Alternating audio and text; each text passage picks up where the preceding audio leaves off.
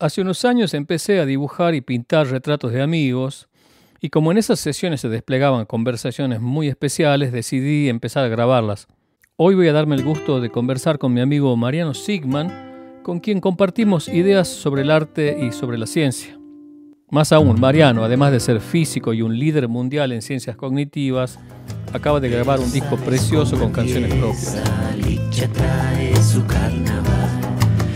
Bailar con la tristeza, no conoces el final, pero sabes cómo empieza.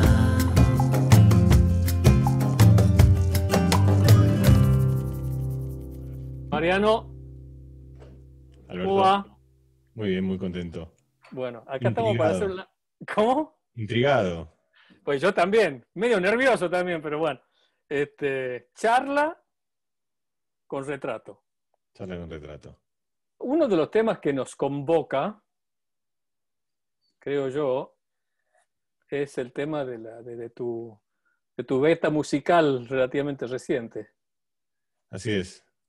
Eh, que, que me encuentra en tu beta musical eh, para nada reciente. Pensé mucho en vos cuando arranqué en esto, sí. Qué bueno, qué bueno. Creo que compartimos esa idea de que cosas que suelen ser presentadas como universos distintos y dispares y a veces incluso hasta antagónicos, como la música, como la música y la ciencia, o la ciencia y el arte, o la ciencia y las humanidades, en realidad forman parte, no sé, yo lo veo y de alguna manera supongo que vos debemos compartir también lo, lo que en nosotros une estas betas, que es el, son maneras de explorar, de explorar, explorarnos a nosotros mismos, de explorar el, el universo, de explorar los bordes, los límites, las emociones. Eh, entonces, para mí, en realidad, este viaje es muy natural. O sea, el, el decir, hice ciencia durante muchos años de mi vida y de repente me dedico a hacer música, a mí me parece casi como un experimento más. Absolutamente. Eh, qué bueno. con otros tonos, con otro instrumento, en otros tintes, pero, pero me parece que es parte de- de- del mismo oficio en realidad. No es que lo veo como que de repente cambié de oficio, simplemente como que cambié de instrumento. Y como cuando haces un experimento nuevo. Bueno, es un experimento nuevo, por eso trabajaste con, con microscopio y de repente cambias el microscopio por otra herramienta. Totalmente. Eh, de hecho, te contaba el disco, se llama Experimento. Eh, tan, Ujú. tan para mí es un proyecto científico este, que es un experimento que eh, yo hago experimentos en general con gente, con personas. Casi todos mis experimentos son, son, eh, involucran personas haciendo cosas. Eh, muchas veces eran personas que yo traía al laboratorio, después empezó, a- empecé a hacer experimentos en teatros, más performáticos. Eh, y este ha sido un experimento donde yo soy el, el sujeto y el observador del experimento. Este, Buenísimo Fue siempre un problema de, de- de la psicología experimental, como inevitablemente uno es a la vez el, el- el que observa y el que es observado. Acá para mí esa conjunción fue, fue absoluta. O sea, yo, yo estuve durante dos años eh, viendo qué pasaba con esto, qué me pasaba, qué pasaba en mi entorno, qué pasaba con, con la creatividad, qué pasaba con, con la expresividad, con las emociones, con los límites, con lo aprendido y lo no aprendido. Es decir, Esto aparte de la experiencia musical. aparte de la experiencia musical, yo no podía evitar el, el- el- tener ese, lugar de observador donde estaba viendo qué era lo que pasaba. ¿no? Eh, tampoco creo que uno es quien es. eh, uno es quien es cuando hace la ciencia que hace, cuando hace la música. Es decir, supongo que la música es un, un ejercicio de expresar una identidad, algo que tenés adentro y que querés contar. Eh, esta vocación experimental está en quien soy yo. Yo, elegí las, las músicas y las letras no tienen ese tinte de no, es- no son letras que hablen de ciencia, salvo No, alguna en me di cuenta, particular. sí. Eh, entonces, no es, no es como una especie de disco temático de un científico que hace un disco sobre ciencia. O, eh, de hecho, a mí me gustaría pensar que quien escucha la música en realidad no adivina nada de todo esto, es decir, de todo esto que te estoy contando, de toda esta parte. Pero en mi propio viaje yo no, no pude evitar pensarlo. También creo que la, metáfora del viaje es buena, porque eso me pasa a mí también cuando viajo. Si cuando viajo yo disfruto el viaje, es decir, lo que como, lo que observo, lo que, lo que experimento, lo que, con quien me vinculo y relaciono, pero no puedo también dejar de pensar cómo me transforma, qué aprendo, cómo eso entra en mi historia, qué, qué- tipo de conflictos aparecen, qué, es una especie de, vicio, diría que yo tengo, de, observar un poco todo el tiempo la, máquina, el programa. A mí me pasó algo muy parecido con el dibujo, porque yo empecé a hacer dibujo y, hace cinco años más o menos, así, a tomármelo en serio, digamos, y, ahí me di cuenta que era la, experiencia de ver es parecida a la de hacer un experimento y también me observaba a mí mismo cómo, cómo iba mirando de nuevo, cosas que ya había visto, como eh, este, la, obsesión por el detalle, cosas que, son muy comunes a la práctica científica y a la práctica artística, ¿no? Este, y por supuesto, yo creo que son, en esta exploración para mí de, ver el dibujo y, sobre todo esta, cosa que a mí me encanta, la, retratar a alguien vivo, en vivo y, este, y conversar de y, la relación que se establece cuando te están mirando. Acá lo estamos mirando a través del Zoom, mm. pero, pero hay, una, hay un vínculo especial que se da cuando alguien te está mirando la cara durante un rato largo, ¿no? Mm. Este, y, eso también es de alguna forma para mí un experimento, ¿no? Este, de, cómo nos vinculamos, ¿no? Sí, yo pensé cuando dijiste esto, hacer una charla con retrato. Yo no lo dije, pero primero pensé, es, todas las charlas son un poco un retrato, ¿no? Porque vos sacás, es un retrato verbal quizá, por eso no un retrato dibujado, pero se me ocurrió a mí eso, o pensé, digo, El entrevistador hace un retrato. Hace un retrato del otro y, da una imagen y se pone una perspectiva y lo indaga desde un lugar y toma, hace un tipo de preguntas y no otras. Y, y después presenta algo que es su retrato verbal de esa persona. Entonces a mí me, Mm. Me, gustaba esta idea de que al mismo tiempo vos estás, y también como me imagino cómo se mezclan esos canales, porque vos estás mirando algo que está un poco en la morfología de la cara, de las sombras, de la, luz, la nariz, las curvaturas de la boca y todo eso. Eh, pero esa es como una especie de identidad que se va cruzando porque también las comisuras de la boca reflejan emociones, dudas, es decir, hay, hay un continuo, me parece, entre, entre, la, entre la morfología y el, y la, experiencia mental o, la, indagación de la palabra. Eh, entonces yo pensaba como, no, estaba tratando de adivinar, como si esos carriles en voz como entrevistador o como, como conversador, más que entrevistador al mismo tiempo, de, la forma y de las palabras, si es como si iban por carriles distintos o si, o si, o si se cruzan en algún momento, si cuando vos estás dibujando una tristeza, a lo mejor preguntas algo que tiene que ver con eso. Bueno, a mí me, justo iba a preguntar algo, iba a comentar algo a propósito de eso, porque vos dijiste algo que yo no lo había pensado, que el que está, el que entrevista es, este, está, haciendo un retrato. Y por otro lado, siempre se habla en, los retratistas, ¿no? Este, eh, por supuesto, los chistes clásicos de que no, no, me salió parecido y que ya se va a aparecer, o, o en 50 años, ¿quién va a saber? Ese tipo de cosas. Pero hay otra cosa que siempre se dice y que, es pertinente lo que vos decís, que es que el retrato, cuando uno hace un retrato, de alguna forma también es un autorretrato. Todo retrato es un autorretrato, ¿no? Porque como vos decís, este, vos cuando hablaste de la comisura, yo me fui y dibujé un poco la comisura. así, este, mi atención se fue ahí. te te estoy haciendo un experimento, Alberto. claro, claro, sí, sí, sí, me estoy dando cuenta que soy un poco un conejillo de India, pero bueno, ¿qué problema? Vos. Sí, vos es que con, con, con nosotros, eh, con Mariano Sardón, hicimos esta obra eh, de retratos hechos a través de la mirada de la gente sobre los rostros.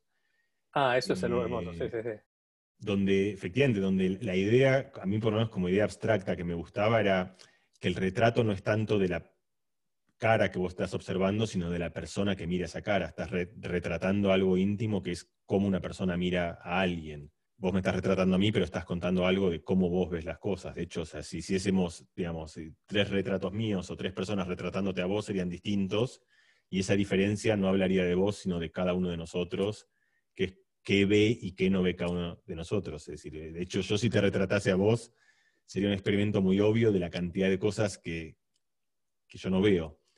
Y eso también me llamó la atención. Recién vos dijiste, eh, curioso, como uno, uno abre mundos de golpe, ¿no? Porque vos dijiste como que lo, que unía el, para vos la ciencia y el, y el, y el dibujo, eh, usaste a ver si encuentro la expresión exacta, pero esa una especie de obsesión o gusto por el detalle.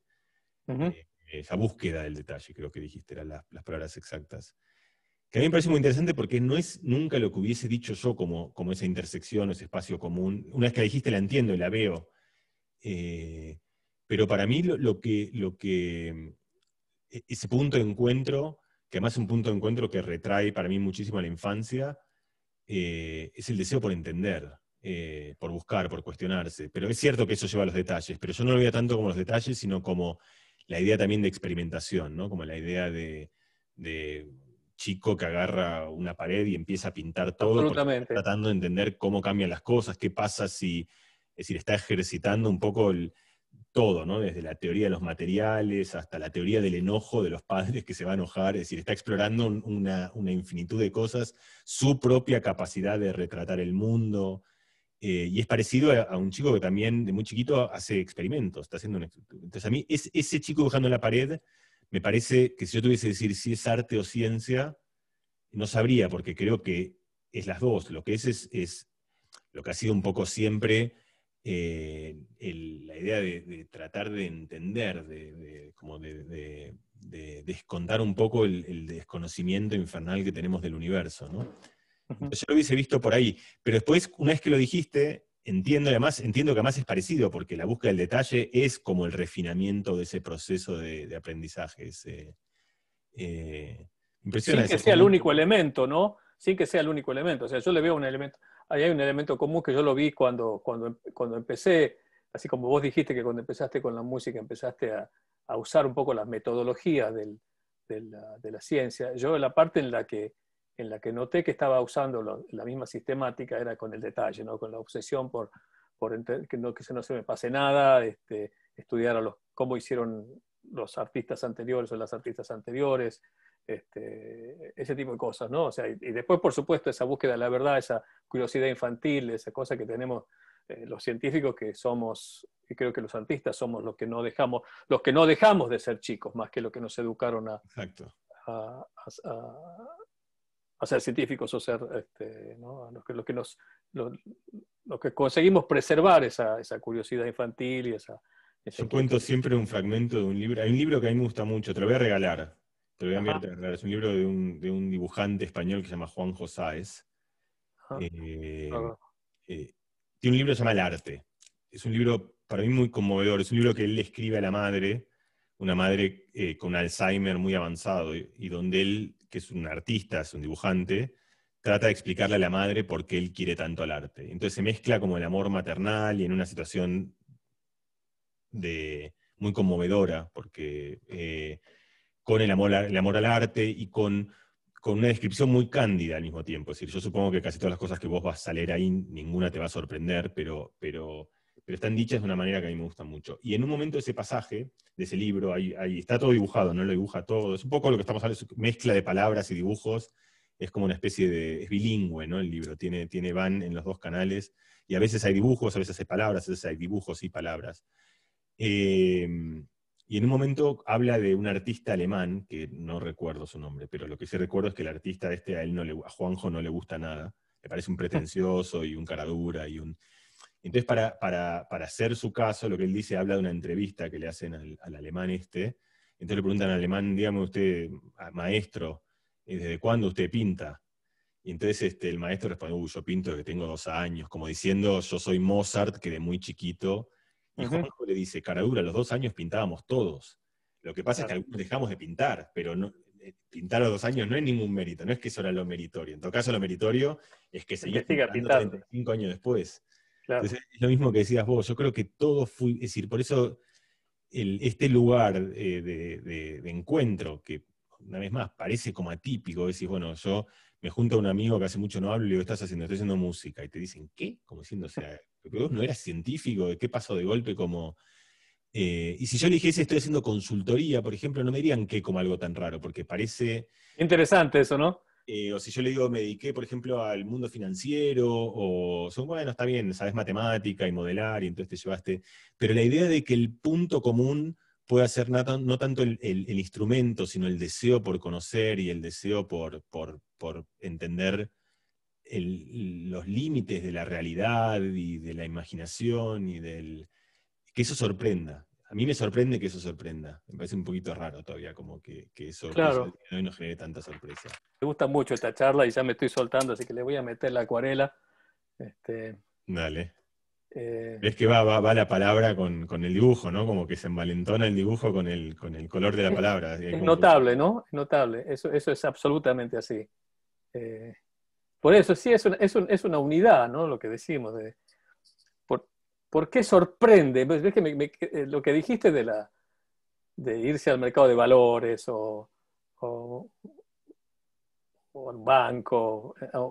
nadie sorprendería que un físico se dedique a eso, pero ¿No hay acaso, digo yo, una, una sobrevaloración de la ciencia frente al arte, de una especie de, por parte de ambos, digamos, tanto de los artistas como de los científicos? Yo, creo que una sobrevaloración, sobrevaloración de las dos respecto de la otra.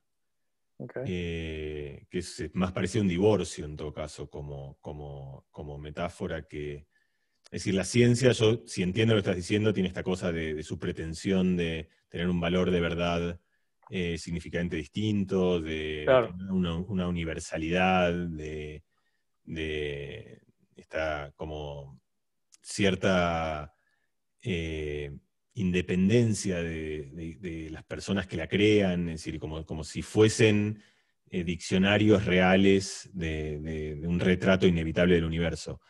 Eh, contra una idea, creo, mucho más razonable de la ciencia, que es que son todas verdades parciales, que eventualmente, decir, la, idea misma de que la ciencia se construye sobre la duda y sobre el...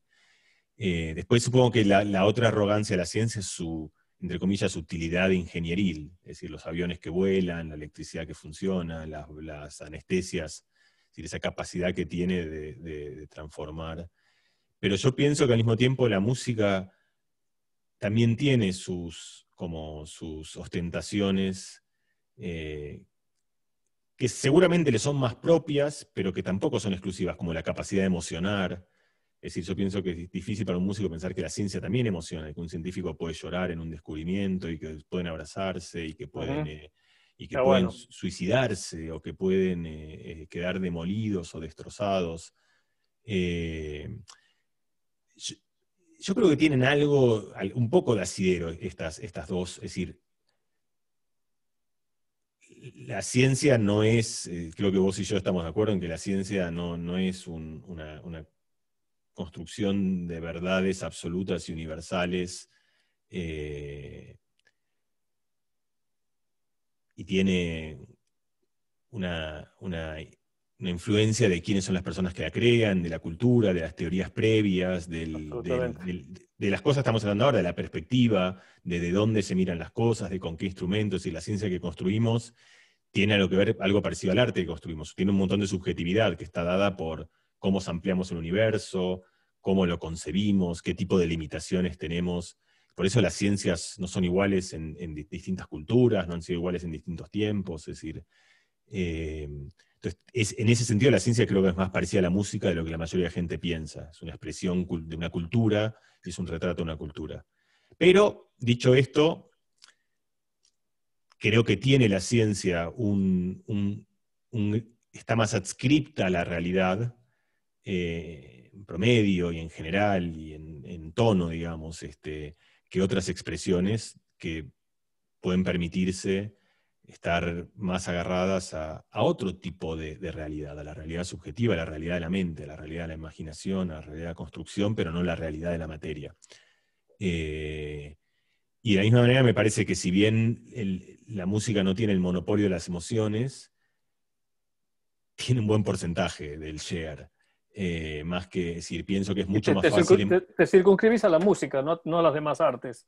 Bueno, algo pasa con la música y con el. Primero porque, porque es el, poco el tópico de hoy. No, no creo que sea exclusivo de la música, pero creo que hay algo en la música en su vínculo con la emoción que la hace un vehículo eh, mucho más cercano a nuestras fibras emocionales. Eh, me parece que es mucho más fácil emocionar y emocionarse con la música que que con la palabra, incluso que con la imagen. Hay, imágenes que son, uno puede ver el Guernica y llorar, pero, pero creo que es mucho más típico, fácil y natural llorar con una música que llorar con un cuadro.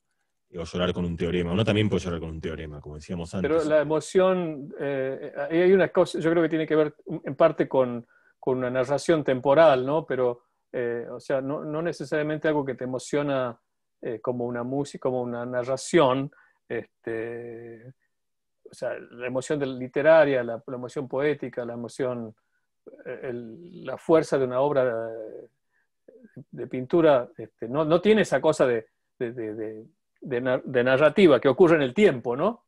Pero, pero también es, eh, tiene una profunda eh, capacidad de emocionar, ¿no? No, sin duda, sin duda. Y, también la tiene la ciencia, y también la tiene, decir, eh, claro.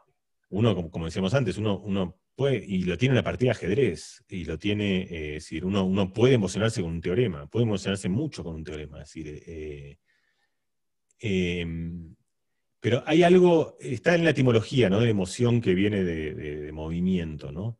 Ah, una, parte es, el, suceder en el tiempo, pero un, poema también sucede en el tiempo. Pero yo creo que la música tiene esta cosa de la resonancia en el pecho, es decir, del movimiento literal del aire eh, en, frecuencias que están muy afinadas. Es yo creo que esto no es casual, creo que tiene que ver con, con que la música vive en un espacio muy sensible a nuestras fibras emocionales. Es decir, muchos medios de comunicación que nosotros elegimos están afinados a, la biología de nuestros receptores. El, lenguaje que utilizamos, por supuesto, está en un rango de frecuencias en la cual escuchamos, si no sería completo decir, si yo te hablase a vos en, no sé, una frecuencia altísima, podría estar diciendo una poesía maravillosa, pero vos no resonás a eso simplemente porque tus células auditivas no tienen esa capacidad.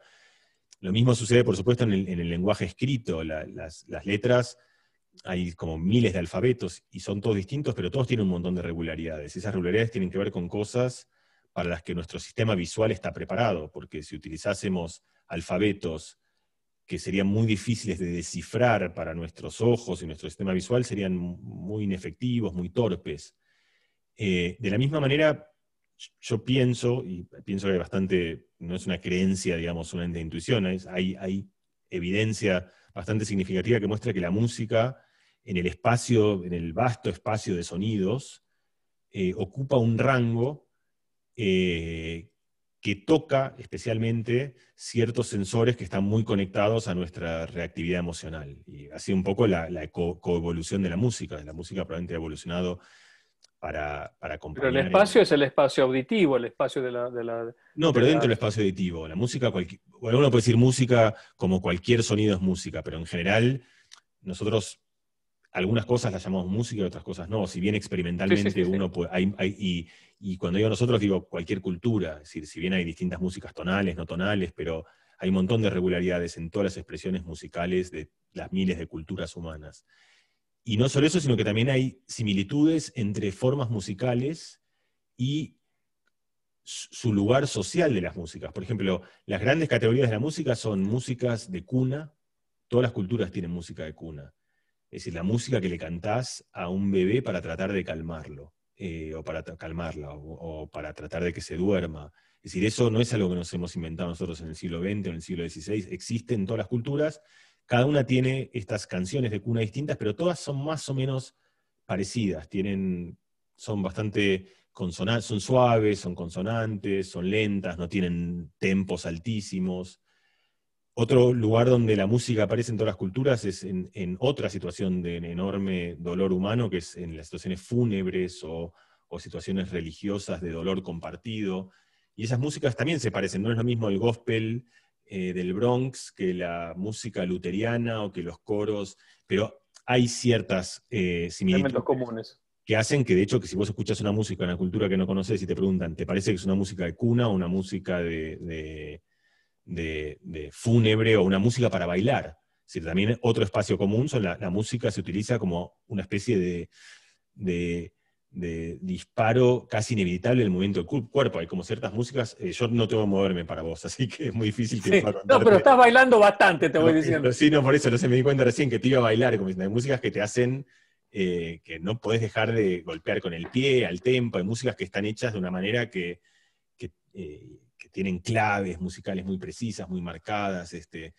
Entonces, dentro del espacio de sonidos, por, eso yo decía que todo esto es, un, largo periplo para decir que, no es casual que la música sea tan efectiva para, expresar eh, emociones. Y hay un montón de, historias eh, anecdóticas y de historias científicas de cómo la música es, un catalizador de emociones. Es el caso clásico de una persona que tiene una pérdida grande, por ejemplo, y, muy dolorosa, pero no puede llorarla, y persiste en eso hasta que un día escucha la canción que esa persona le cantaba y en ese momento se dispara el llanto. Es como el momento en el cual...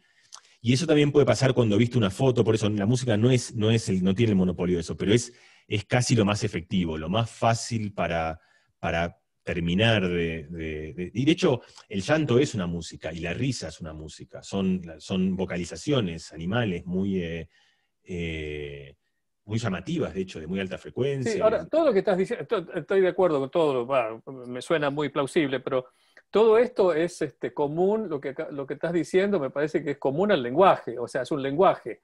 Hay palabras que te pueden llevar, o sea, eh, que te hacen llorar, narraciones que te hacen... Este, que, bueno, que hacen guerras o que generan violencia, que generan amor, que generan... Pero lo que estoy diciendo más es que dentro de todas las cosas que pueden generar cosas, es decir, el lenguaje produce cosas, las imágenes producen cosas, la música produce cosas, la música está muy imantada a la expresión de emociones, eso digo. No, no es el único, pero cuando hablamos de, es decir, el lenguaje efectivamente es, más efectivo para producir constituciones, acuerdos, guerras, eh, matrimonios, divorcios, es decir, hay un montón de cosas que el lenguaje, y que es muy difícil de pedir, es decir, si vos tenés que ir a un restaurante y pedir lo que vos querés pedir con música, es complicado, a lo mejor puedes hacerlo, como, pero sería muy difícil. Capaz que me gusta, capaz que no.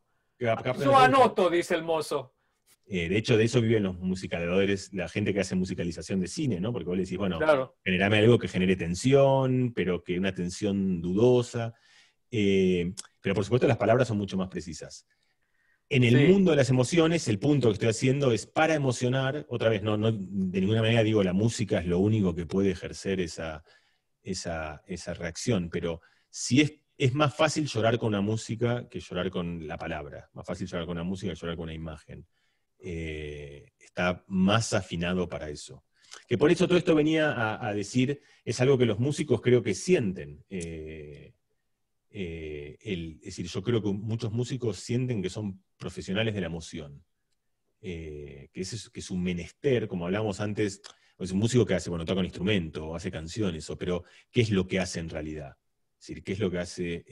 y yo lo he, hablado esto con músicos, amigos, y muchas veces creo que cuando ellos encuentran eso que es como su oficio, es como lo que buscan es emocionar gente, como eh, eh, emociones compartidas, eh, buscan encontrar algo que pueda producir algo en alguien. Como objetivo eso es distinto del objetivo a lo mejor de un científico. Si me preguntas cuál es tu objetivo, es, bueno, quiero descubrir algo del universo, de la realidad, quiero encontrar regularidades, quiero entender de dónde venimos, a dónde vamos pienso por eso que ahí, ahí empiezan el mismo oficio que empieza con experimental, como cómo emocionó a alguien, empieza a distinguirse un poco como en, ese, en esa ontología, como en esa razón de ser de por qué uno hace lo que hace.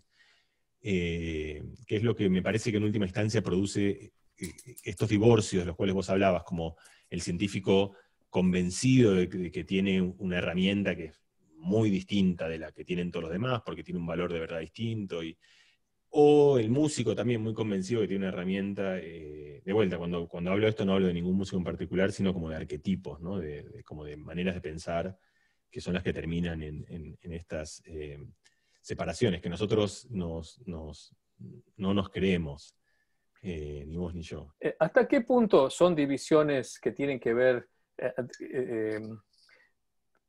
para cuya comprensión hay que mirar a la, estructura de la, de la disciplina, cosa que sí, está, bien lo que decís, estoy de acuerdo, o mirar a, las a, la, a, la, comunidad que, que, gravita hacia cada una de ellas, digamos. Mm. Eh, ciertas personalidades gravitan hacia el arte y ciertas personalidades gravitan hacia la ciencia porque eh, encuentran en la ciencia un, un, un, lugar en el que se van a sentir cómodos en lo social. Sí, hay, dos cosas que se me ocurren. La primera, por supuesto, es, estas cosas tienen algo también de profecía autocumplida, ¿no? Pienso, por ejemplo, el ejemplo similar que me parece que nos puede hacer reflexionar sobre esto es que las, algunas ciencias están mucho más pobladas de hombres que de mujeres. Y esto no tiene que ver, por supuesto, con ninguna virtud que los hombres o las mujeres tengan para ejercer esa ciencia, sino con estigmas culturales que se van reforzando, donde ya sos chiquito y te, dicen, bueno, sos varón, estás para hacer esto, sos mujer, y estas cosas se cambian un poco de, en el momento en el que, en el que rompes esa, construcción inflacionaria. Lo mismo pienso un poco con, con las, las, oficios y las personalidades.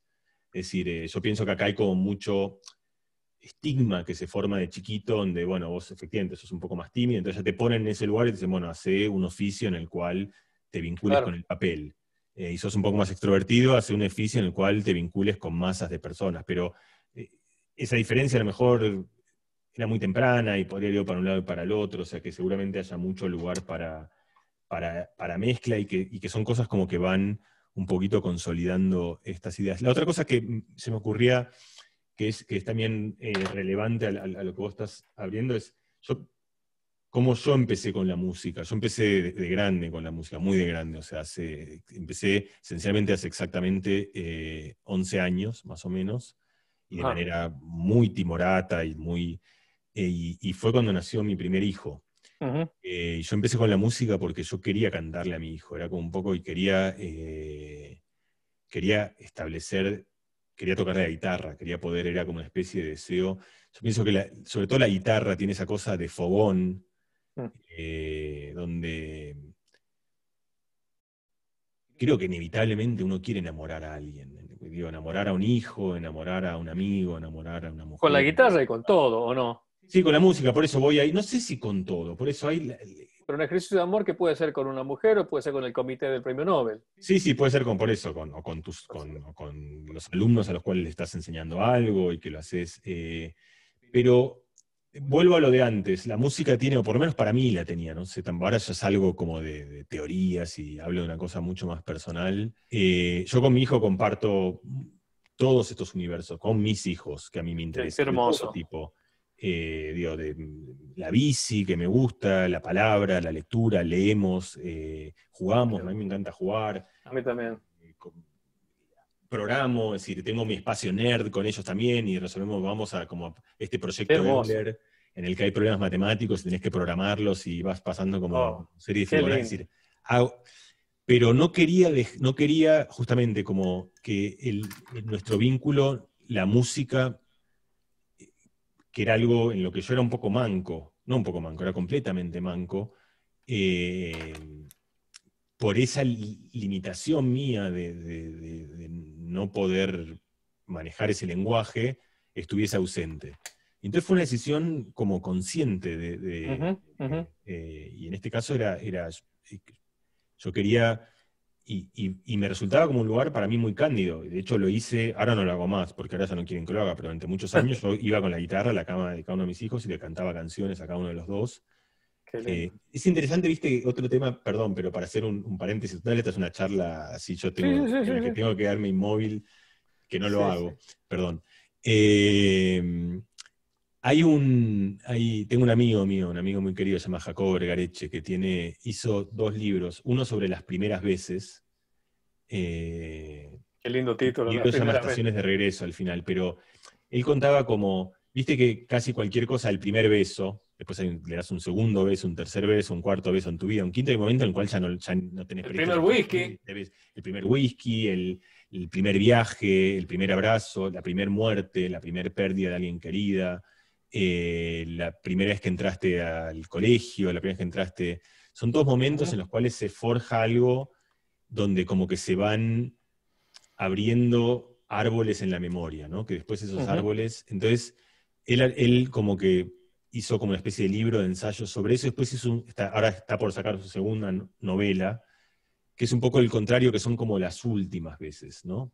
que ah, son las últimas veces son cosas que vos no sabes cuándo van a suceder en general. Claro. Por ejemplo, yo pensaba eso, ¿cuál fue la última vez que le canté a mi hijo eh, con la guitarra en la cama? La verdad que ni me acuerdo cuándo fue. Y seguro cuando le estaba tocando esa vez, yo no sabía que esa era la última vez que le iba a cantar, Mm. Sucedió, fue creciendo y un momento en el que me dijo, mira, ya no, yo lo entendí y, quizá todavía algún día voy, por ahí no fue la última todavía, pero va a haber una que va a ser la última eh, y, en el momento que la es uno no lo sabe en general, y si uno lo supiese... Eh, sería muy fácil, claro. Muy fácil. Yo tengo otra amiga, se llama Brenda, eh, que corre maratones. y ella cada vez que va a correr un maratón y tiene miedo que le pase algo, eh, porque es una, animal. Claro, es una, es una exigencia física enorme, entonces eh, muy movilizante, y entonces ella le escribe una carta a sus tres hijas de despedida en la noche anterior, y como corre muchos maratones, tiene un cajón lleno de cartas despedidas a sus hijas que nunca les entregó que a mí me parece una obra literaria muy hermosa. Son todas las despedidas que ella hizo, como, como suponiendo. Está buenísimo. Un poco lo que en general no hacemos, justamente, la, premonición. Eso cuando hace la gente, yo lo hago cuando salgo en bici. Y yo todas las noches ahora no le canto a mis hijos, pero sí voy y les hago unos mimos y todavía eso tengo derecho a hacerlo. Ah. Eh, y eh, cuando voy en bici siempre pienso, tengo, no puedo evitar tener ese pensamiento, voy en bici por la ruta, hago muchos kilómetros, eh, mm. algo alguna vez, es una probabilidad baja, pero entonces la noche anterior a mis salidas en bici, que son unas cuantas, siempre les hago como unos mimos como... Especiales. Especiales como para que si se, ese es el último registro que tienen de mí, que sea uno muy lindo, como que es, parecido a la carta de Brenda, eh, solo que en vez de dejarles una carta les dejo un tacto, digamos, una caricia que espero que sea como que una, en realidad es trágico lo estoy contando, porque uno se despide, digamos, o sea, es como... Eh, pero bueno, creo que muchos hacemos eso, eso lo hablé con muchos amigos, una situación típica en la que la gente hace eso es con los viajes, cuando uno se va de viaje, se despide de una forma especial, como pensando, bueno, si llega a pasar algo, consciente o inconscientemente, digamos, pero son... Eh, bueno, esto era un preludio, perdón, sobre las... No, pero eso es lo que decís, este, me, trae a mí así tangencialmente el, el poema de Borges, Límites, ¿no? Que habla justamente de esto, ¿no? De quién eh, si, para todo hay término y hartaz, si para todo hay término y hay tasa, y última vez y nunca más y olvido, ¿quién nos dirá de quién en esta casa sin saberlo nos hemos despedido? Qué genial, te das cuenta como al final siempre cualquier cosa que pensás. Este, o sea, habla de justamente de quién me, acabo, de quién me habré despedido, ¿no? este, porque, Qué genial que te acuerdes de memoria, además. Voy a hacer una copita de vino, ahora que mencionaste a Ah, bueno, me encantó. ¿Qué hacemos? Un, ¿Hacemos un, recreo y uno, cortamos unos minutos y, y abrimos la botella? O, no, seguimos un ratito. Ah, claro, porque vos no puedes dibujar y tomar vino. Yo puedo hablar. no, yo sí, yo puedo tomar, dibujar, y tomar vino es algo. Seguimos cinco minutos más. ¿Para que abro mi, mi, botella yo que no la tengo abierta? Yo la tengo abierta, la mía me viene, mira, la tengo más hasta casi medio vacía. No, me parece excelente iniciativa. Creo que creo que estoy llegando a un parecido, pero como decían, los retratistas son, somos tan defensivos con el tema del parecido, porque la gente dice, oh no, pero no se parece, oh no, no me sacaste igual, oh no. Este, entonces, Singer Sargent dice, un retrato es un dibujo que tiene algo, algo mal con la boca. Bueno, salud. Salud, ¿eh? Por los dibujos, y no por la música, y por la ciencia. Sí, sí, sí, por la ciencia, ¿no? Mm. Uy, está muy este, rico. A mí también. Respecto de mi actitud hacia la ciencia en comparación con eso de la, con la división, ¿no? De, que vos encontrás en muchos artistas eh, la búsqueda de la emoción. Para mí como artista o como científico, pero digamos que como artista que me quiero considerar, em, para, eh, yo no busco la emoción, pero busco más ese punto de contacto que tiene la ciencia con el arte, que es la búsqueda de la verdad. A mí me interesa mucho cómo en la historia de la ciencia el, eh, arte ha informado la búsqueda de la verdad, en el sentido de que las teorías son más estéticas, son las más eh, las correctas, las teorías que, a, nosotros nos parecen más elegantes terminan siendo las correctas. Eh, ¿Por qué? ¿Por qué la teoría que, que, la mente humana le resulta este, elegante, agradable, eh, es la que en el fondo conduce a la verdad? Entonces, eh, eso que vos hablabas al principio de la ciencia como una, con, una, cierta universalidad, que en cierto punto se, se arroga la ciencia y que la tiene, pero eh, la ciencia como, como lo hablamos en otro momento, una ciencia de una civilización con otro sentido sería muy distinta. Y, esa idea de que la ciencia es, que la teoría de la relatividad hubiese sido la misma aún cuando no hubiese existido Einstein y que sin embargo la, novela sinfonía nunca hubiese sido compuesta si no hubiese, no hubiese habido Beethoven, es parcialmente cierta. Eh, sí, sí, em, parcialmente. Creo que es un poquito lo que hablábamos antes. Es, la ciencia está un poquito más inclinada, indefectiblemente, a, un retrato de algo de la realidad contra la que tiene que ser un poco conmesurada. La música también. Borges habla además de esa, cuando Borges habla sobre el oficio del escritor, Dice, el escritor tiene una lealtad, no es una lealtad a la realidad, sino es una lealtad a, su propia narrativa, a su propia creación, a su propia, es decir, también vive en un universo en el que hay reglas, ese universo es el universo de su propia creación.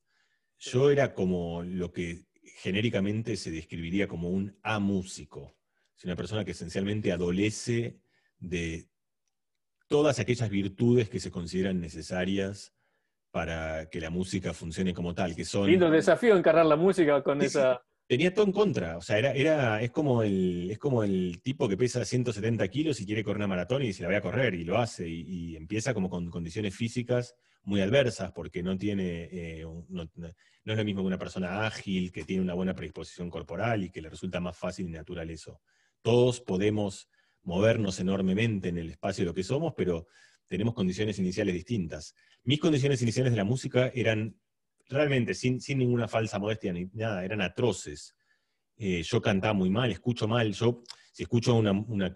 El día de hoy mejoré mucho y aún mejorando mucho soy increíblemente malo. O sea, si yo escucho una canción, no te sé decir qué instrumentos suenan, no es que escucho. El bajo no lo escucho, me decís, escuchar ah. pum, pum, pum. Yo no lo escucho. Entonces tengo que hacer arreglos para abajo sin escuchar eh, el. Eso es muy interesante.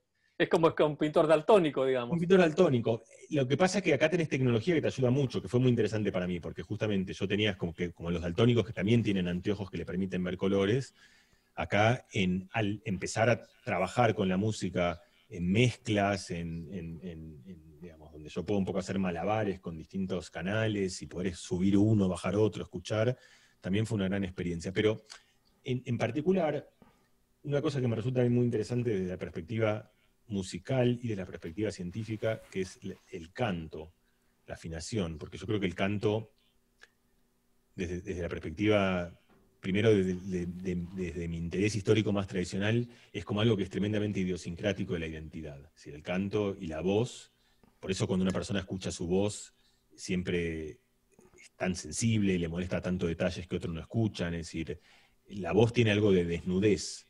Eh, uno se expone es como que estás sacando algo de tus entrañas, estás mostrando algo que sale directamente de tus cuerdas vocales y que define tus miedos, tus temblores. Y yo cuando empecé a escuchar mi voz y la escuchaba que temblaba por todos lados y que no podía, eh, empezaban a, molestarme cosas no tanto del sonido, sino de, la inferencia emocional que yo hacía de eso. ¿Cómo puede ser que, no pueda cantar derecho, firme, con convicción? Este, y en particular, afinado. Y yo fui entendiendo con el, con el, con, el pasar del tiempo, ahora más hay muchas músicas que viven del autotune, ¿no? Como, como el rap y el trap, y que lo usan como un ejercicio estético, está, está muy bien. Pero fuera de eso, hay que convivir con las desafinaciones de uno también. Y, hay que poder vivir con. En un sentido amplio también, ¿no? Sí, sí, en, todo sentido, por eso, entender que también eso es, parte de la. de, de la belleza, eh, que a veces, de hecho, justamente cuando una, cuando una voz está muy afinada, la percepción es que es robótica, que pierde belleza, que pierde brillo, que pierde calor, que pierde identidad, que pierde... Eh, entonces hay un cierto... Y, la razón que traigo esto es que yo pienso que eso pasa en la ciencia también, que justamente la ciencia muchas veces tiene, es bella por eso, porque uno se imagina la ciencia, sobre todo las ciencias exactas, por definición, que son exactas, pero que no son exactas. No son tan exactas, claro. No, ni siquiera un poco exactas, es decir, eh, eh, son excelentes aproximaciones, pero es esa diferencia entre una excelente aproximación y lo exacto es lo que lo hace ciencia, justamente, si no, si no sería teología, es decir, sería, sería otro oficio si fuese... Y es lo mismo que la diferencia entre una voz perfectamente afinada y una voz bastante afinada. Si una voz perfectamente afinada no es una voz, es otra cosa. Eh, entonces también hay, hay como todo un ejercicio de descubrimiento eh, para mí fascinante. De, ahí la voz es un ejemplo claro donde para mí se mezcla todo. La emoción, porque la voz propia tiene como una... Eh, otra vez esto que te decía, ¿no? no sé cómo te sentís vos cuando cantás, pero yo, yo sentí cuando, cuando primero yo nunca había grabado un micrófono como estos y escuchando en buena calidad mi voz. Este, la primera vez que lo escuché, sentí como que estaba en un aparato de realidad virtual. Es decir, la sola percepción de mi propia voz, con ese grado de, brillo, de aislación del resto de los sonidos, de... Sentí como si me hubiese visto un órgano que nunca había encontrado a mí, es como si me hubiese entrado en mis entrañas, era, era, eh, era conmovedor. Y después de eso, empieza a venir también como todo lo, el, descubrimiento propio, es decir, el, descubrir algo, estos micromúsculos que tenés que controlar y entender que la voz eh, se trabaja, como se trabaja en la marcha, o como se trabaja eh, tocar la guitarra, o como se trabaja aprender un idioma. Absolutamente. Pero salvo que son estos músculos infinitísimos este, y que son decisivos de aquello que uno es, porque al final eh, entonces, ese viaje, el, viaje de, la voz, que a lo mejor se parece al viaje tuyo de ir dibujando y entendiendo cómo este, ir logrando identificar, supongo que eso será, para mí fue, fue fascinante. Eh, y desde, desde todos estos lugares distintos, digamos, desde el lugar vocal, hice horas, o sea, yo me pasé... Eh, tuve como dos meses donde hacía cinco horas de canto por día, o sea, me tomé el trabajo de... ¿Y lo hacías con instrucción? Sí, tenía todo un profesor. Bueno, profe, sí, un profe. Sí, porque si no, yo creo que esas cosas eh, hay que hacerlas con instrucción. Hay un momento en el cual uno puede liberar, pero si vos no tenés... Yo tengo este aparatito, eh, que lo que es básicamente es, es, un, es un afinador. Es decir, tiene un micrófono y te dice la nota que está sonando. Entonces es un afinador vocal, donde además te marca ligeras desafinaciones o te va marcando como distintos grados de afinación. Entonces, ¿por qué para mí esto era importante? Porque como en, toda forma de instrucción, vos aprendés en tanto en cuanto tengas una visualización de lo que estás haciendo es correcto o no. En el dibujo eso es muy fácil, porque vos haces un dibujo y te das cuenta si el dibujo, la boca, tiene un error en la boca o no, tiene un error en la nariz. O sea, a veces podés después darte cuenta, no darte cuenta por qué y cómo resolverlo, pero es fácil saber si tener un, por lo menos un... ese error existe o no, si está o no. buen sentido de si estás de acuerdo con eso o no, pero con la vocalización, el problema es que yo no lo escuchaba, o sea, yo desafinaba y no me daba cuenta que estaba desafinando. Entonces el Pero cuando lo, cuando lo miraste, lo viste, te, fue revelatorio. El primer paso es este, es poder tener una, eh, lo, que en inglés se llama feedback, no hay una buena traducción para eso, es decirte... Retroalimentación. retroalimentación, exactamente. es algo que te permita tener un monitoreo de si lo que vos hiciste es correcto o no. Si es correcto, tenés que seguir ese camino. Si no es correcto, tenés que buscar cambiarlo. Pero para eso tenés que tener una idea de eso. Es muy difícil aprender cualquier menester eh, a ciegas eh, si vos no tenés una supervisación de algo que te diga si lo que estás haciendo es correcto o no. Entonces, eso la tecnología te ayuda con eso, eh, pero la instrucción te da, además de eso, te da un montón de herramientas de cómo resolver. y a mí, y, pienso esto en general, creo que te ahorra enormemente el camino. Es decir, uno con tiempo infinito podés llegar a aprender cualquier cosa. No, pero además cuando si sos autodidacta tenés un maestro bastante ignorante. Así es, exactamente, sí. Mm, entonces, este, mejor eh, buscar. hice, no, hice, eh, tenía un profesor, Felipe Forastere, que, es, eh, que tiene un, un, un escuela en Madrid que se llama Laboratorio de la Voz. A mí ya el nombre me pareció fascinante, la idea de, y, él tiene esta vocación además experimental, justamente. De, es un, él viene de la comedia musical y tiene como una, mezcla que a mí me resultaba tremendamente interesante. De por un lado, como una cosa de un ejercicio muy concreto, muy emocional y muy actoral de la voz. O sea, con él hacía ejercicios de tipo canta esto como si fueses eh, no sé, un, chico eh, caminando en una mala noche, volviendo con lluvia. Eh, ahora cantalo como si fueses un tano napolitano Este, entonces, Sí. esta- que viene de la comedia, eso, la idea de, de- Ujú. de la música como la expresión de un personaje también. Entonces, por un lado esto, que para mí era fascinante, lúdico, divertido, y por otra parte una, una cosa mucho más orgánica de la voz, de entender los músculos y entender la, la lógica y la razón y de por qué eh, a mí me, me resultó... Hicimos una maratón, es decir, ahora como realmente un esfuerzo... eh, con todo eso eh, mejoré enormemente, sigo cantando significativamente mal, pero, pero Bueno, lo que yo escuché estaba bien, che. Aparte, ¿qué es cantar mal, no? mal, te voy a decir que es para mí mal, solo tengo pensado eso. Eh, que es parecido a, a- a- Ahora te cuento, para mí mal es que no te salga lo que querés que te salga. Es decir, Bueno, eso es pero es eso, no- que no eso controlás- es, pero Bueno, eso es, si te sale lo que querés que te salga, sos un semidios. Bueno, por eso, pero ese grado de, de- de diferencia entre De lo, diferencia, que querés lo que lográs es, es el bueno y el malo. Por eso, bien no es que cantás afinado, o que cantás con voz alta, o que cantás con voz con mucho aire. También, seguramente hay un montón. Pero para mí, bien es que eh, lo pienso desde la perspectiva, lo pienso ahora vos dibujando, digamos. Es decir, vos estás tratando un dibujo. ¿Quién es el buen dibujante? Es aquel que logra materializar aquello que está en su deseo, en su intención. Muy bien.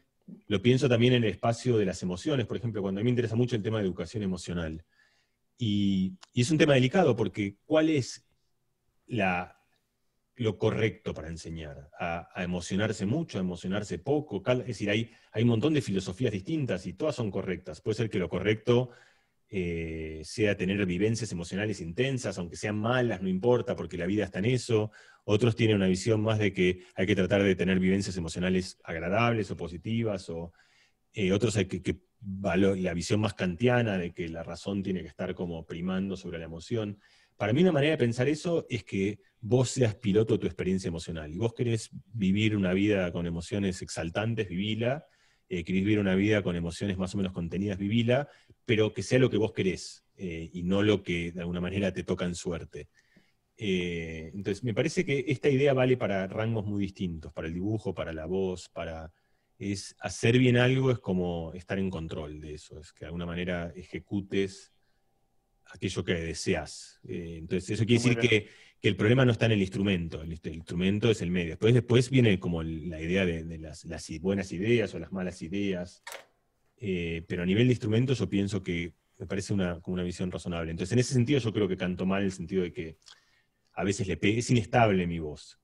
Eh, a, veces, a veces afino y a veces no, y a veces me sale como querría y otras muchas veces no. Entonces, cuando le pego, eh, es mi voz y es, a mí me gusta, eh, pero, pero por ahora estoy tirando los dados todavía. eh, y, y con muchos dados eh, es, es un dado bastante cargado. Bueno, pero está bueno que te aventures a grabar y, y a mostrar, y, ¿no? Sí, sí, eso además es... Además está muy bueno. O sea, ¿cómo lo hiciste? O sea, el- la instrumentación y demás, ¿cómo, cómo fue? El disco fue, eh, yo empecé las, digamos, prácticamente las melodías las hice todas yo, es decir, son todas mías o mías con, compartidas con otra gente. Las primeras, que fue donde arrancó el disco, fueron melodías que yo hacía eh, en, escribiendo música, en el Sibelius, en un programita para, para escribir música. Eh, es un programa muy versátil porque además tiene la ventaja de que vos vas escuchando aquello que escribís. Sí. Eh, entonces, eh, vas subiendo la nota, la escuchás o la alargás, la estirás, y es como, es un instrumento que a mí, viniendo donde venía, de un mundo, digamos, con bastante agilidad en el mundo simbólico, en el mundo abstracto, me resultaba muy natural, como ese mundo geométrico del pentagrama, sin la limitación de, de- de estar a tempo, de cantar, de... Eh, así compuse casi todas las primeras melodías y además lo hacía sobre todo en los aviones. Lo- lo- los Ah, mirá. en avión, para mí los viajes en avión siempre fueron, a mí no me gusta mucho el no. que ¿Componías en los, en los aviones? llegaba al avión, despegaba, me ponía los auriculares estos de, de- con noise, pues, Qué, estos, qué bueno, qué bueno, qué buen uso me ponía el del tiempo. y cuando el avión aterrizaba, yo estaba deseando que no aterrice porque estaba en medio, o sea, nunca viví lo- como en esa época los viajes en avión. Qué bueno. Me prendía y me pasaba todo, y en general llegaba, cruzaba el Atlántico y tenía un tema. Era un poco el... el- Ah, buah. Así fue un poquito el como arranqué. Eh, después empecé O haciendo... sea, no necesitas el instrumento, o sea, que, bueno, el y instrumento algo- es el programa, es el Sibelius, digamos. pero, este, pero vas, vas siguiendo un poco tu intuición, cómo vas, cómo vas componiendo, digamos. este. Ah, de distintas maneras. Eh, a veces empezaba por, eh, por un ejercicio armónico eh, que podía ser como, de hecho, tomar la armonía de una canción que a mí me gustaba y modificar esa armonía y tomarlo como una base para empezar algo. Muy bien. Eh, así hice algunas canciones. Como, es, es muy importante esta idea porque para, es, es- a mí es otra cosa que me interesa desde el, desde el punto de vista de, como de la teoría de la creatividad. Una cosa que yo entendí con el disco es que la digamos, la crea- un- una idea de, de por qué es a veces, la- mucha gente tiene como una traba con esto y es una especie de lugar que produce un gran miedo escénico, el lugar de la creatividad, el lugar de la composición. A mí me resultó la composición muchísimo más fácil que la interpretación. Es decir, la- la- y sobre todo la, y la composición musical, que a mí también me parecía que, en, en mi imaginario yo, yo pensaba en la idea del conservatorio, de las currículas. Uno empieza haciendo solfeo, cantando un instrumento, hace Sí. ocho años, y recién ahí vas a composición, que es como un poco el, el, el sumum de... Yo creo que ese orden está mal, porque por- está mal, Ajá. esa correlatividad es errónea, porque componer música decente, digamos, música razonable, música, eh, yo creo que es algo muy accesible para casi todo el mundo, en cuanto entendés un conjunto de reglas básicas. Y la razón por la que es accesible es porque el mundo de la composición musical, por supuesto que es infinitamente vasto y abierto, pero grosso modo, de las- el 90% de las canciones populares y de las canciones de los, digamos, de los Beatles y de casi todas las que siguen un conjunto de reglas relativamente sencillas. Tienen como sucesiones armónicas bastante estandarizadas, tienen series de intervalos y series melódicas también relativamente eh, estándar. Entonces, para hablar más claro esto, para el que eh, por ahí, ahí estoy tirando una jerga de vuelta que es innecesariamente compleja, pero cuando uno escribe texto, estás tratando, imagínate, la idea es que vos sacás y vas buscando palabras una tras de otra, y esas palabras eh, son muchas, tenés como, tenés 5.000 posibles palabras, después tenés otras 10.000 palabras, y otras 7.000, y otras, y el conjunto de ideas podés escribir sobre un montón de cosas, y cómo trans- y las puntuaciones. En cambio, la música, si bien es infinita... la música también es así, ¿eh? Sí, O sea, o sea, hacer una- un poema popular eh, está bueno, un, un soneto, una copla, es tan fácil como hacer una samba, pero después componer una obra en de mayor extensión es como escribir una novela. Sin duda, sin duda, por eso. Yo, me, me estoy, no, no me- no- eh, yo creo que eso es cierto para cualquier cosa. Es decir, to- tocar el toc toc muy bien puede ser infinitamente complicado. Es decir, uno puede hacerlo con todo. Es decir, yo no, no creo que haya nada, pero hay ciertas cosas. Si vos querés empezar tocando el violín, hasta que le saques un sonido razonable, te va a llevar mucho más tiempo que si empezás tocando el toc toc o que si empezás tocando eh, la flauta, por ejemplo. A mí me resultó llamativo que componer música me resultó muchísimo más fácil de lo que yo imaginaba. Y al revés, componer las letras de las canciones, que para mí era mi oficio, yo vivo de la palabra, terminó siendo mucho más difícil que Ah, componer mirá, las, las músicas. Y la razón por la cual creo que pasa eso, es, en, en inglés hay una cosa que se llama the curse of choice, que es como la maldición de la elección. Esto es como un término que se refiere a que muchas veces uno dice, bueno, cuantas más opciones tenga, mejor, porque puedo elegir entre más cosas. Si vos vas a un restaurante y tienes 700 opciones, sí, sí, sí. es mejor, pero en realidad es mejor que tenga 10, porque si tienes 700 no llegas a considerarlas, y te perdés, y te ofuscás, y te... Entonces, a donde yo voy es que, a primer orden, otra vez no digo que, pero la música es un menú más chico que, que en, en el, en el- que por lo menos podés jugar todo un universo de la música. De hecho, dicho sea de paso, para componer, para mucha, un, ejercicio muy interesante para creatividad en palabras, es restringir el espacio, como justamente, por ejemplo, hacer que rimen.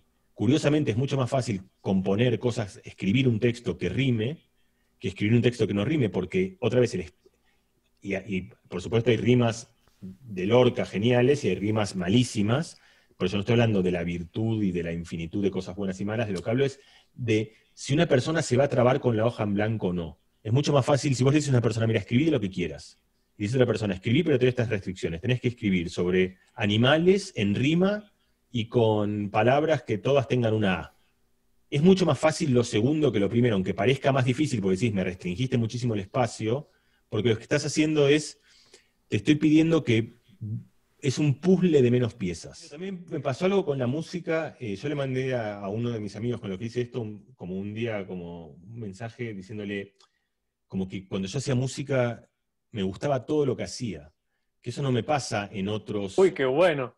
Eso a mí no me pasa de ninguna manera en cuando escribo, así cuando yo escribo algo, en general no, me, no, no es que escribo algo digo, uy, qué lindo lo que escribí, suelo ser como muy crítico. Eh, cuando yo escribí mi primer melodía, que, termina eh, siendo un riff de una de las canciones del disco. Eh, esa era la melodía de la canción y eso pasó a ser el riff de guitarra de una de las canciones. Así fueron mutando las cosas. Después te puedo contar un poquito más. Es interesante cómo van como cambiándose de lugares, fragmentos y frases, un poco genéticamente, ¿no? Que se recombinan. Pero cuando yo hice esa melodía, mi sensación era, esto es una genialidad. Yo sentía realmente que estaba eh, yo profundamente sentía que estaba Mozart, los Beatles y esta canción, esta frase. al mismo tiempo yo entendía perfectamente, no es que yo me confundía, era una ilusión visual. Yo sabía que era un ejercicio, eh, es decir, no es que pensaba que eso era cierto. Lo que yo digo, yo sentía eso. Viste que es una ilusión visual, que vos ves algo rojo y vos sabés que es azul, pero igual lo ves rojo y vos sabés perfectamente que no lo es. O ves algo, una línea más grande que la otra y vos la medís. que no es así, pero yo sabía que esta melodía era, era una melodía más, que no era... Eh, yo no podía evitar que me parezca genial, me parecía una cosa, eh, yo no podía creer que eso haya salido. hermoso eso. Sí, sí, por eso, viste cómo está toda esta historia de Ion, ¿no? O sea, de la, va a la esencia de la creatividad, ¿no? Como que la, vieja de los griegos es que, de, dónde salen las historias, ¿no? ¿De dónde salen las melodías? ¿De dónde salen las historias, las fábulas, las... En realidad, las historias salen de lo que uno tiene adentro. Si uno tiene adentro, son, son memoria, es decir, uno tiene algo adentro y uno lo recompone y lo recombina. Pero la manera que uno lo percibe, y eso viene desde los griegos, es que en realidad son dadas de las musas, ¿no? Es decir, las, deidades, de hecho, Nemónides, que es la, diosa la de memoria, es la madre de las musas. Eh, y las musas son las, las, a su vez las madres de los poetas y de los...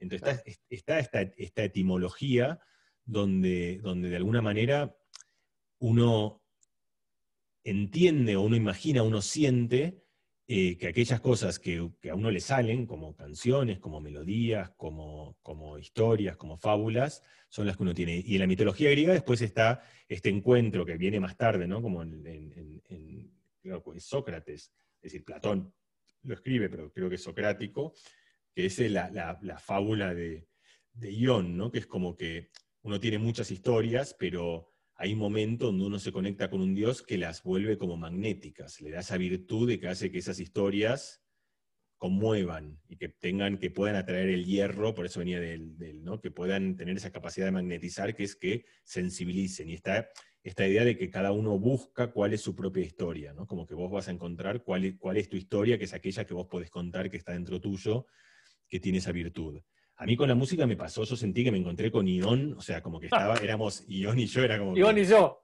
Nos encontramos, ese, ese, debería ser el título del disco, porque era como, fue, ahí no, tipo, fue un encuentro, nos dimos un abrazo. Qué, este, linda historia, qué linda historia. Y yo sentí ahí que, que, había encontrado el, el, Y de hecho, eh, digamos, sin vergüenza, a mí me gustan las cosas que están compuestas. No, no, creo que, sean una singularidad en la historia de la música, creo que es un disco, digamos, de los, de los mil millones de discos que hay, pero a mí me gusta mucho. Eh, y estoy muy, tengo como una enorme felicidad de haber eh, creado eso. Como, eh, además porque las canciones terminaron esto que te contaba, que yo empecé haciendo música para, para, para cantarle a mis hijos, Después esto aparece mucho en el disco sin que yo me lo haya propuesto. Eh, ¿Cómo venís vos con tu creación mientras, Ion, hablando? Te veo ahí con unas caras eh, de... No, no, no, estoy, es, siempre un problema, ¿viste? Ion, ven a mí. Por eso, ¿qué, musa te ha hablado? Este, no, me gusta, me gusta. Lo que pasa es que, bueno, el parecido no, tengo que verlo mañana. El parecido, la afinación, la afinación es lo de menos, ya lo, ese... Mm. Mm. No, es un retrato de esta conversación. Y es un retrato de esta conversación. nos, hemos liberado, nos hemos liberado de ese mito. Por suerte, somos leales a nosotros mismos. sí, sí, sí. Este, me, está- me parece que me salió muy angosta la cara ahora que lo pienso. Ese tipo de cosas. Ahora que te quedas quieto, este, te, echo la, te echo la culpa a vos ahora. Este, No, pero ahora Y- ya ensanché porque está haciendo una sonrisa, puede ser que. sí, no importa, bueno, es este. Pero como ya, ya te vas a aparecer, ya te vas a No, pero aparecer ¿sabes, ¿sabes lo que vamos a hacer? Es en el que, futuro. que, viste que la, la- es como la, si la teoría tiene que adscribirse al experimento, el experimento a la teoría, ¿no? Entonces yo me voy a hacer, voy me voy a angostar. Claro, no, no, tu tarea ahora es, es, Es culpa mía, o sea, si- claro, si- claro, tu tarea es en angostar Lo siento, ahora. es decir, yo no, no he logrado angostarme lo que tenía que angostarme. Vos dijiste que das charlas de, de expresión o de creatividad o... Bueno, doy, doy charlas de distintos tópicos de, digamos, de neurociencia cognitiva, entre ellos creatividad, y además de dar charlas, estudio, investigo el tema, Ujú. y, y otra- esta- esto que te contaba de que esto fue una especie de experimento en primera persona, también fue un experimento sobre la creatividad. el método creativo que a mí me, me- me interesa, ¿no? Esa exploración de, de la creatividad como un trabajo, digamos, como la resolución de un problema. No sé cómo, este, Sí, sí, quitarle, bueno, eh, eh, me, encanta esa idea, por eso es quitarle esa, esa, ese tinte de, de distinción y de, y de como si fuese algo muy distinto a todo lo demás, ¿no? Yo, yo Claro. un poco eso lo que te contaba también con la idea de como, como que uno creo que intuye desde lejos que, en- por ejemplo, en el oficio de la música, lo que está arriba de todo es la creatividad. Uno puede encontrar en, qué circunstancias uno puede expresar mejor lo que, lo que, lo que, encontrar una voz, encontrar una historia. Por ejemplo, eje- ejemplos muy sencillos en, en la narrativa. Si vos en general, y tienen que ver con lo que contaba antes de, como de, la, de la idea de, de- de restringir un- la lección, y, y si vos le decís a alguien, vos vas a una mesa y le decís a alguien, "Com- contame una historia. Eh, en general la mayoría de la gente te va a decir, no sé, la verdad que no Ah, sé. No puedo, yo no soy... eh, eh, No soy no contador no- de no historias. soy creativo, no soy contador de historias, soy malo con eso. Entonces, ahora restringir mucho el problema, decirle, contame la primera vez que te fuiste de viaje. ¿Qué es una historia? O sea, vos le habías dado mucho más opciones, parecía mucho más fácil. Cuando el espacio de búsqueda es tremendamente vasto, uno dice, yo soy un mal contador de historias. Y es lo que, no, lo que uno no es bueno es como encontrando historias en ese mar enorme de la memoria, en ese mar enorme. Entonces, cuando vos lo empezás a restringir y, le decís a la gente, le das la ayuda, de decir, mira, las historias en general se construyen a partir de la memoria. Entonces, contame como algo gracioso que te pasó en la última semana, contame una historia trágica, contame una historia... Entonces, la gente empieza a contarse historias. Y de hecho, casi toda la gente se cuenta historias a la noche, cuando se va a dormir, o cuando está en el ascensor, o cuando camina. Empieza a contar historias que son fábulas de la memoria y de la memoria futura, es decir, de, de uy, si River hubiese ganado ese partido, o "Uy, ¿qué es eso? Estás como yendo a la memoria, a partir de la memoria estás, entonces te estás armando, ese es el principio de un cuento. Es decir, uy, si River hubiese ganado ese partido, es la primera frase de un cuento que empieza en un narrador, que cuando vos le pedís, eh, contame una historia, te dice, mira, no, lo siento, yo no puedo, yo no sé contar historias. Este, O sea que eh, de- eh, crear de alguna forma es restringir el espacio.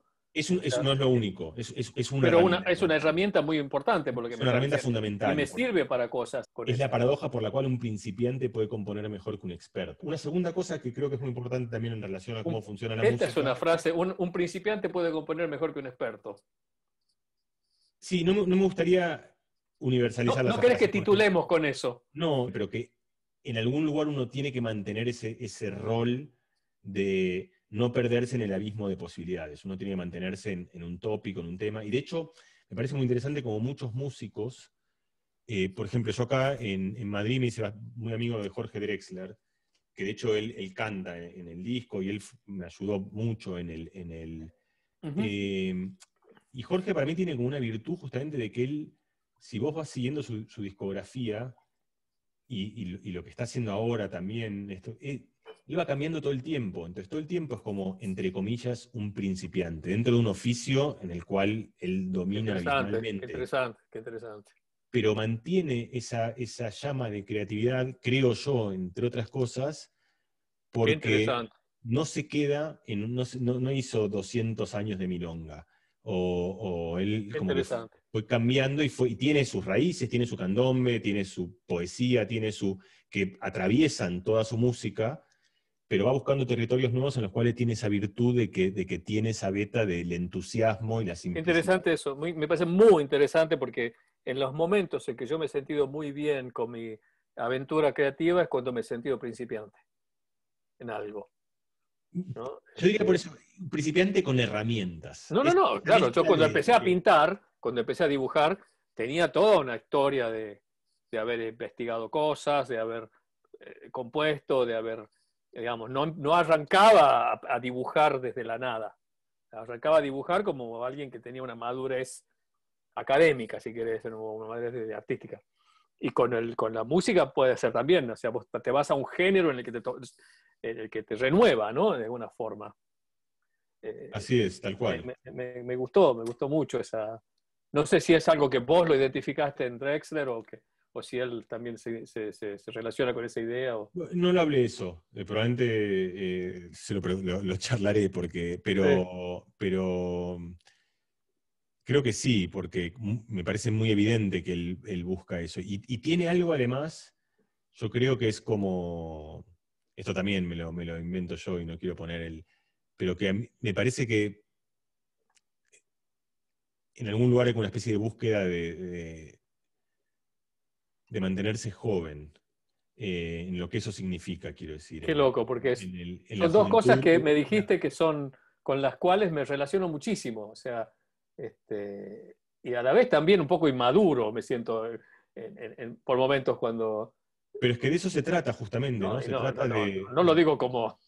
Lo digo con es orgullo. un ¿no? elogio, es un elogio, Claro. por eso, sí, Sí, tal sí, cual, sí. tal cual. Es que yo, yo pienso que hay algo de eso en el, una vulnerabilidad, una... eh, es decir, la, la juventud tiene que ver con eso, tiene que ver con un vértigo de y un entusiasmo que vienen de, de- y un atrevimiento que vienen, lo que hablamos antes, un poco de las primeras veces, ¿no? Eh, Y que, y que- y que se pierden en el, en el...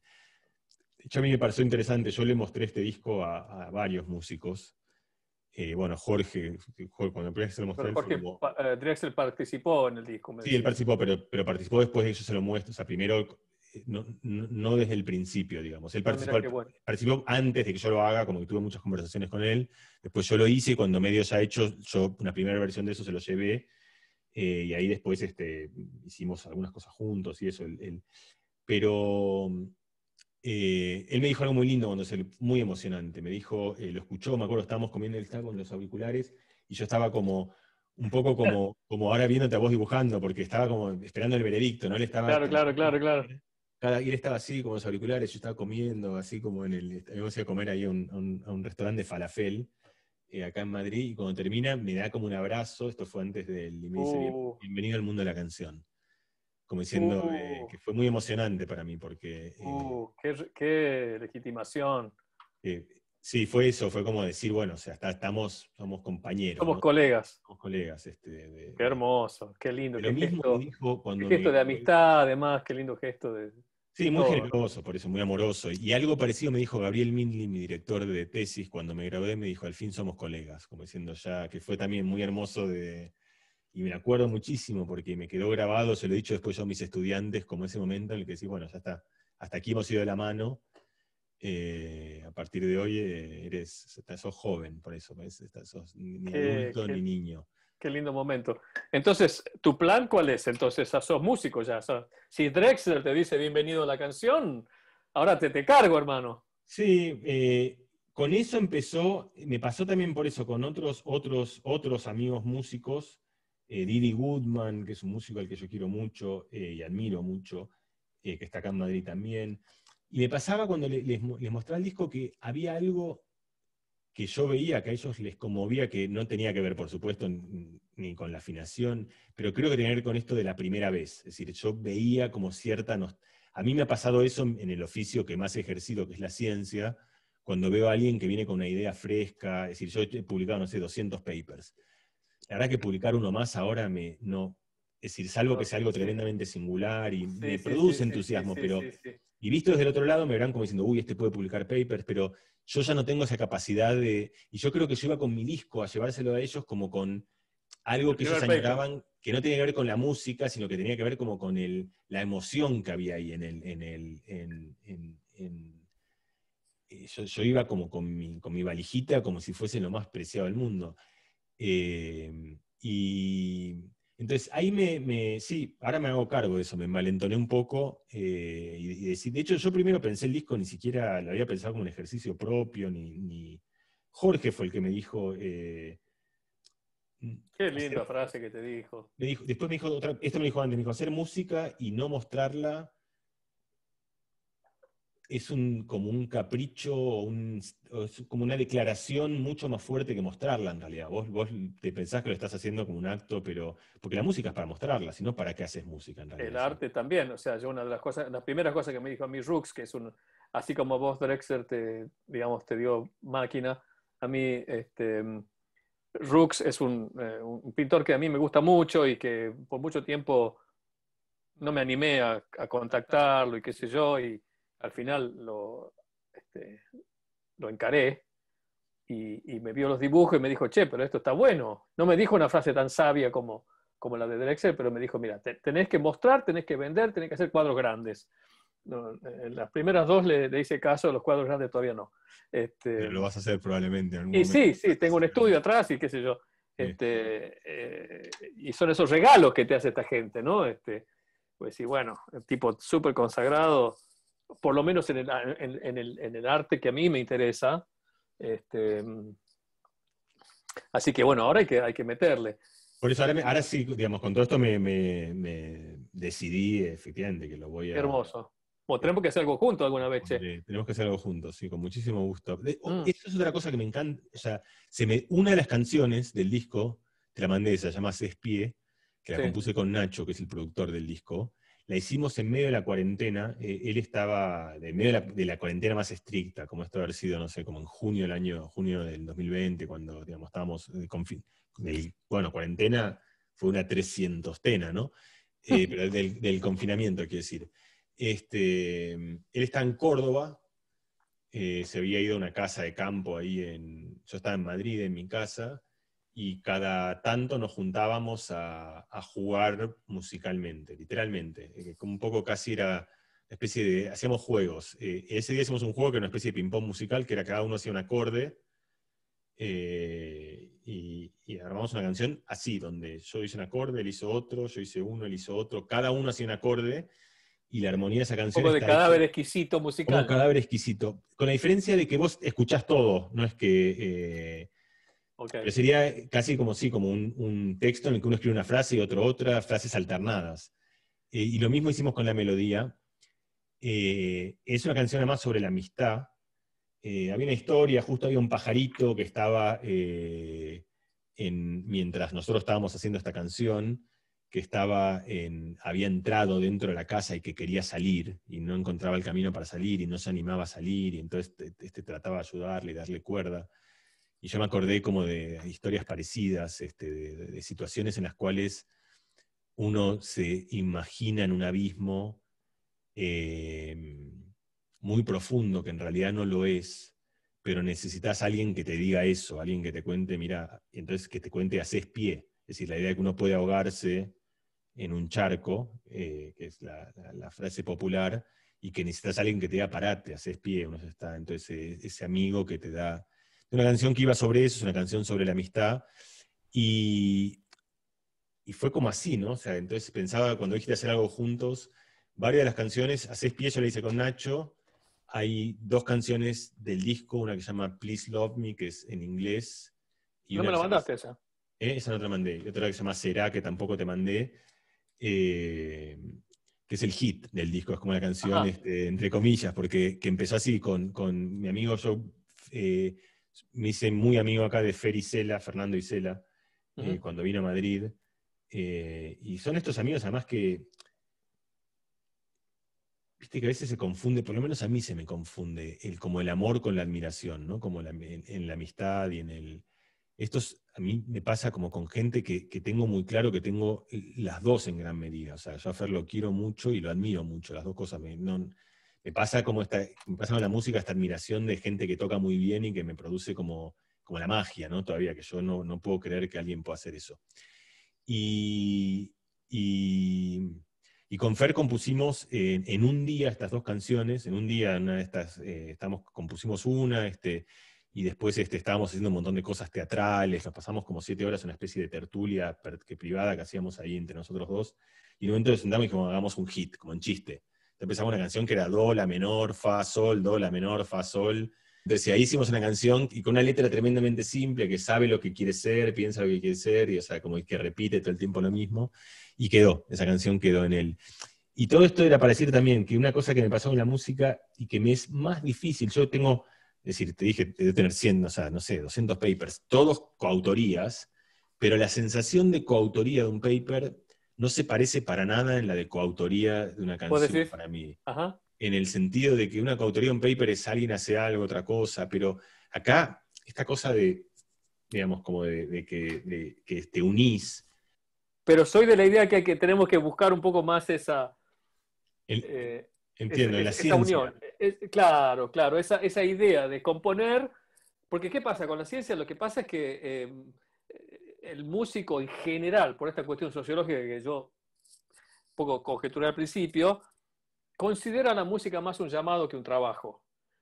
Y en general los físicos o los científicos, como tienen esa, esa digamos, tenemos esta estructura académica de subsidios, sé yo, tendemos a- tienden a pensarlo como un trabajo más que como un llamado. Pero si uno lo ve a las dos como un llamado, este, que es como yo viví la ciencia, este, con los cachetazos que me di y con las cosas magníficas que me pasaron, eh, para mí la ciencia es un llamado de la misma forma que lo es la música. O sea, yo no hago ciencia porque quiero un grant. Yo hago ciencia porque a mí me gusta lo que hago y porque busco, porque me da muchísimo placer entender lo que otros hicieron y que me gustaría tener una voz propia y, y decir algo y cuando digo algo, sé que estoy haciendo un vals más como hice otras canciones, que, que, que en el gran esquema de las cosas eh, a, a Beethoven no le muevo la aguja, ni a Einstein tampoco le muevo la aguja con mis trabajos. Pero me parece que soy parte de la misma estructura. Este, bueno, yo tengo un retrato acá que es mi retrato, Es el momento, es el momento de... es mi retrato de, este, de esta historia, de esta ¿Cómo hacemos? lo- pero tendríamos que estar ahora sí que tenemos que estar al lado para abrazarte. Claro, bueno, esa es, una, esa es una de las cosas de la cuarentena. No sé cómo mostrártelo. Tendría que mostrar. Ah, podría hacer esto, a ver. Ah, espectacular. A ver. No sé Muy si te bueno. ves, no sé si te ves. Yo. Sí, sí, sí. Está mal la boca. No, para mostrarme, quiero verlo más, quiero verlo más, perdón, perdón, perdón. Este, pero no sé cómo ponerlo. Yo ahora la- cuando veo la cámara veo otra cosa, pero. No, está muy bueno, muy bueno. Muchas gracias. Alba- eh, eh, además se me parece, pero, pero, pero sobre todo me parece Bueno. precioso. O sea, es- eh, Pero mira, ese es el mejor elogio, porque cuando haces un retrato, el, el parecido es el segundo punto. es lo que yo te digo, por eso creo, o sea, me reconozco, pero, pero, pero. Claro, no es una foto. No, es algo que me lleva a una de las primeras cosas que hablamos, que es el hecho quiero de verlo que. más, quiero verlo más. Como. Sí, sí. Mandame perdón, tengo. Sí, ahora lo escaneo y te lo mando. Pero eh, todo esto del retrato como interpretación hace que el retrato en vivo siga vivo. Porque es algo que vos conocés muy bien y el hecho de que existe la fotogenia, ¿cierto? Existe gente que sale bien en la foto y, s- y más linda o más fea. Dar bien en cámara, no sé bien Sí. qué es eso, pero Eh. existe. Entonces, quiere decir que la cámara está tomando una decisión. Me retraigo, uno se emociona con la imagen también. Eh, Sí. emociona Bueno, me encanta, me encanta, espero que sea el comienzo de algo, pero tenemos que saludarnos para la audiencia. Ah, tenemos que saludarnos. Sí. De verdad, me había olvidado. Arigato, arigato gozaimashita. Arigato, sí, sí, sí. Este, muchísimas gracias, querido. La verdad No, gracias a vos. gracias a vos.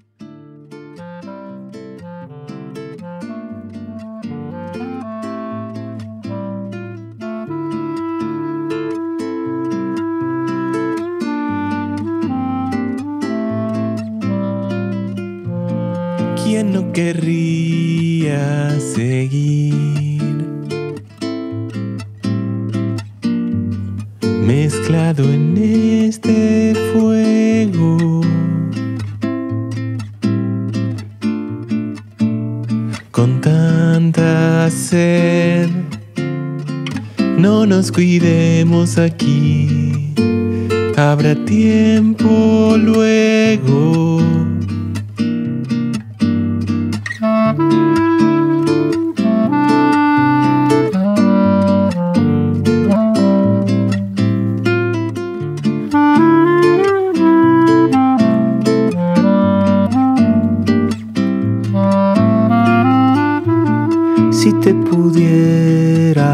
Pedir que juegues este juego sin entender cómo será y cómo es. Otra cosa mínima, yo me empiezo a abrir un vino en la mitad, no sé si vos tomás vino. Excelente idea. Vamos otra vez, amigo perdido, sentado en la sombra, hoy me ves. eh.